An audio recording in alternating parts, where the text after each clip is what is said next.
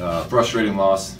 Uh, we got to play better. We got to we got to make shots. We got to make free throws. Um, but like I've said, I believe in this group, and I, I believe that this group will play better, and uh, we'll start winning games. But um, as a team, we gotta we gotta you know step up and, and go out and take some of these games. We had plenty of chances tonight to really try to get back over the hump, and we just didn't do it. So as a group, we got to be better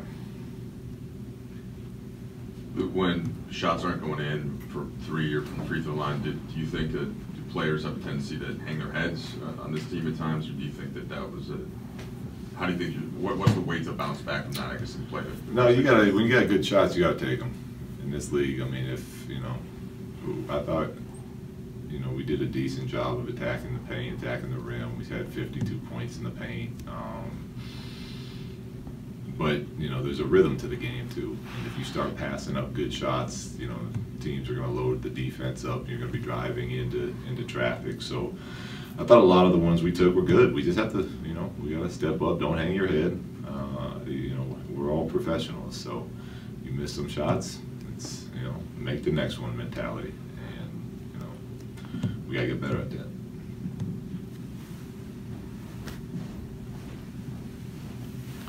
Luke, you guys were down 15 in the first quarter. Uh, what do you think contributed the most to the way the game started? Yeah, I'm gonna have to watch that. We, we, we might have to do something to the starting lineup right now. Um, you know, every every game it feels like we're giving up 30 plus points in the first quarter. So, uh, you know, we'll take a closer look at that. You know, I really thought we'd come out with uh, a little better energy, and you know, by the end of the games, we're doing a nice job of of stabilizing our defense and, and getting the stops we need. Uh, but we can't just keep giving up 30 points to start the game. So we'll, we'll take a look at that and possibly make a change before Tuesday.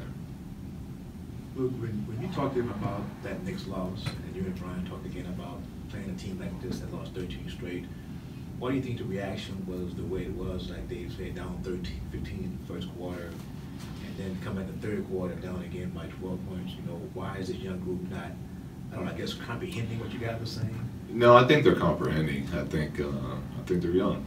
Um, I think that's part of it. I think there's a lot of variables that go into it. I think we come out with the right intent, and then you know guys miss shots, and then that naturally brings some energy down. Uh, you know, normally offense and defense, even though they're kept uh, as separate stats, they they kind of uh, feed off of each other. So I think there's a lot that goes into it. Um, I don't think our group was overconfident tonight to start the game. They were heads were in the right place. They had the right intentions. We just didn't get the job done. So, uh, you know, a couple times now that's been the case. So it's up to us to try to find a, a combination that gets us off to better starts.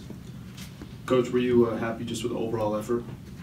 I thought the effort was good. I mean, we played well enough to win that game. We make, we make our free throws, make a couple open threes. You know, that's a game that we probably win, but we didn't. So give Cleveland the credit, but uh, I thought the effort was there. I thought guys were playing hard. Um, we had some nice, uh, nice possessions where the ball was swinging around from you know multiple sides, multiple people getting touches. So uh, just didn't do enough to win.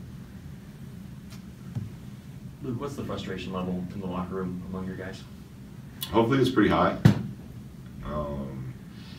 That's a game we knew was very important to us, and uh, it should be, uh, you know, I, I can't give you a number, but it should, it should be pretty high. Um, and hopefully that's an, an, anger, an edge that stays with us for at least the next few days. It looked like they were also able to limit you guys a little bit from what you normally do in transition. Is that something that Cleveland did, or is that just a lack of initiative?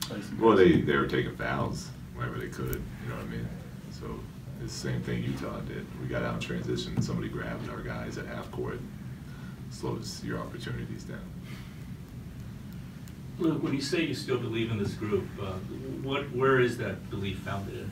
Because I see them every day.